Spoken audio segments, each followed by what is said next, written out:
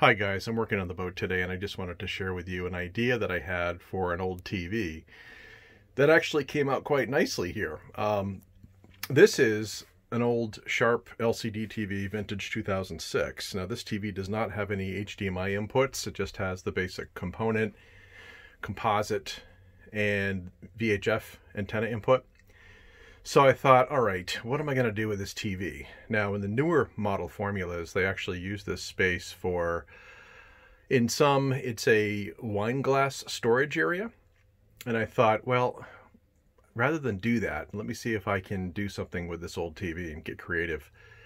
So I happen to have an old WD media streaming device, which I no longer use because I'm using the Amazon Fire Stick on, uh, on all my TVs. And so I decided since that WD media streamer device had a basic uh, composite output that I could actually connect it to this TV. And I could use that streaming device to display a picture slideshow. And I just loaded on one picture here just to just as a proof of concept. So the thought is that I can just load up a thumb drive with, um, you know, hundreds of pictures and use this TV as a um, as a picture frame, a digital picture frame.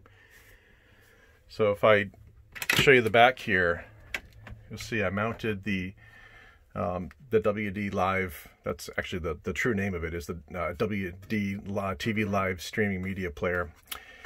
And uh, I actually just mounted that to the back. There's the thumb drive that I'm going to load some media on. And uh, and then I have it connected to the TV. I just wired it into the, the 12 volt power supply. So that's it. I think what I also could do, looks like the, uh, looks like the screensaver came on. See if I can, see if I can find the remote. Yep, I actually have the remote right here. I'm gonna have to wire up the, um, the remote sensor. There we go. So I guess what I could do is I could also stream from a media source on this device if I really wanted to, but there's just no point. We have a, uh, I think a 32 inch TV in the lounge area. I've got a 24 inch TV in the aft lounge area. I have another 24 inch TV for the, the cockpit. And there is an old legacy TV that I have in the, uh, the master stateroom that I may replace with a new TV, but when you're lying in bed, you can actually see the 32 inch across the the lounge, so I may not even do anything with that one. But anyway, just wanted to pass along this idea that I had.